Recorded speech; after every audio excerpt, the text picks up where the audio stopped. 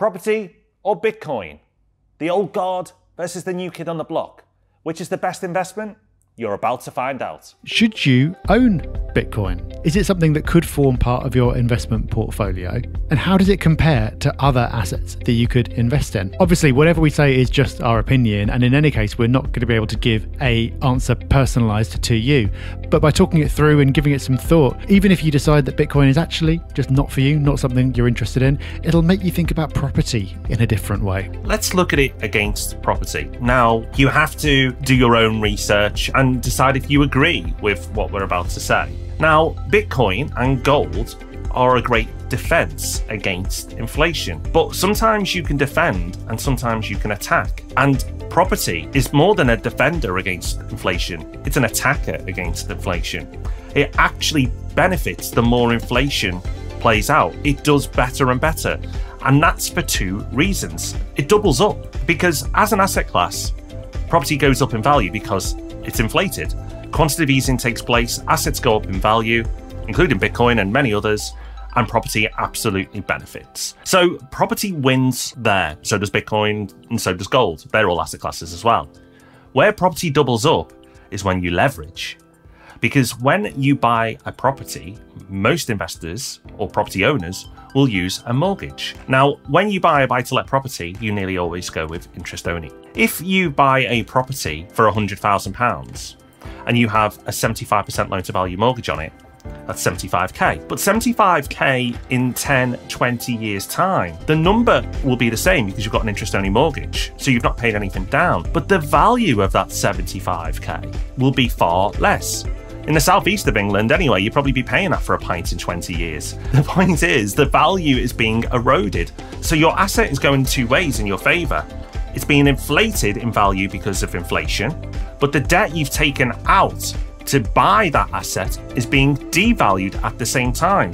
So you get a double whammy. Exactly. If you've got cash in the bank, you suffer from inflation. If you've got gold and gold's doing its job, then that is a defense against that. If you leave your money in the bank for 20 years, you're going to have far less purchasing power at the end than you did at the beginning. That's because of inflation. If you put your money into gold and take it out in 20 years, if it's done its job, then your purchasing power should be the same. But property benefits from inflation. Part of it is the debt aspect, which you talked about, Rob, which I think is really important. And the other part is that property is a scarce asset. And therefore, even if property isn't doing anything special over the long term, its value would be expected to go up with inflation. Or another way of putting it is that the value of the currency will go down and property will stay in the same place. It's the same thing, it's just a weird way of looking at it. But it still very much is an asset that benefits from inflation. The other big benefit of property is that it pays an income. So gold doesn't pay an income, Bitcoin doesn't pay an income. It's a place that you go and put your money in the hope that your purchasing power will be maintained, but you don't expect it to make you any money. With property, it's a real asset, it's a scarce asset. It's also got practical value people need somewhere to live and they'll pay you to live in your property. Even if it suddenly became illegal to make a capital gain on property, you'd still make rental income because people would still want to pay you to live there because they need somewhere to live. And the other great thing about it is that income stream generally speaking, would be expected to go up in line with inflation because the dynamics of the rental market are such that as people get paid more and people are competing with each other for the best properties, generally speaking, there is a set amount of people's income that they're willing to allocate towards rent, and therefore, as wages go up, rents go up. Property pays an income, and unlike some asset classes, that income stream would be expected to maintain its purchasing power even in the face of inflation. Now, we keep referring to Bitcoin, and the reason why we're talking about it right now is because people want to understand it. And why do people want to understand it? It's because it's getting so much attention. And why is it getting so much attention? Well, because the prices are all over the place. You're seeing huge, huge gains, then you're seeing huge drops, then huge gains again.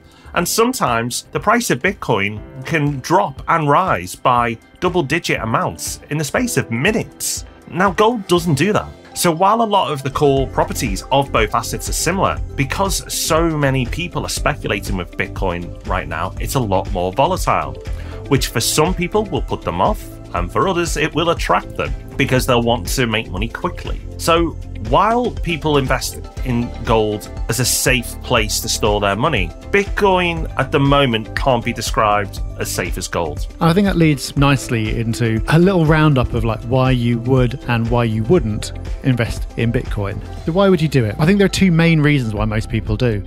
One reason is that you believe in the technology. In other words, you kind of see it as like an asymmetric bet. So there is some chance that Bitcoin will end up being worth nothing, but there's also some chance that it's going to end up being worth a heck of a lot more than it is now. Another reason that people get involved, it's a kind of a protection play. So if the dollar or the pound collapses, it's not likely at the moment, but if it does, then it's some kind of protection from that. It's something that no one can get at that event in Cyprus where the government decided it was a bit short of cash and it was just going to take money out of people's bank accounts, that can't happen. I think another reason to get involved is it's just kind of fun. And it's not going to be fun for everyone. There are some people who find new things a bit scary or off putting and they're just, just not their thing.